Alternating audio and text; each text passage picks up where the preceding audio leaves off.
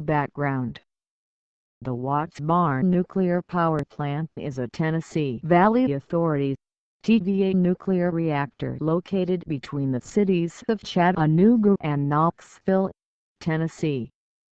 TVA is currently working to finish the partially completed Unit 2. Unit 2 was about 80% complete when its construction was stopped in 1988.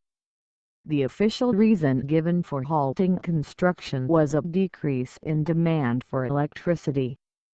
On August 1, 2007 the TVA board approved completion of the Unit 2. Construction resumed on October 15, 2007, with the reactor expected to begin operation in 2015. The project was expected to cost $2.5 billion.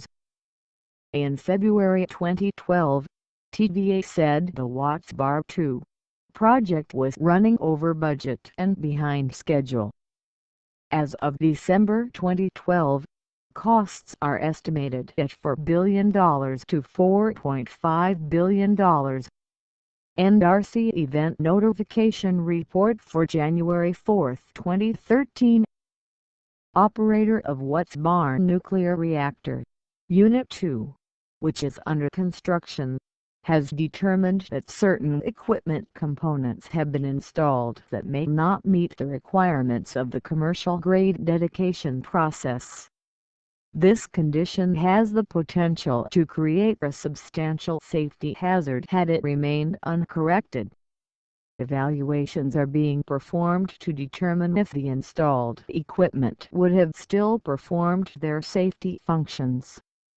No specific cases of a substantial safety hazard have been found to date, but until evaluations are completed, the safety significance of this condition remains indeterminate. The licensee will contact the NRC resident inspector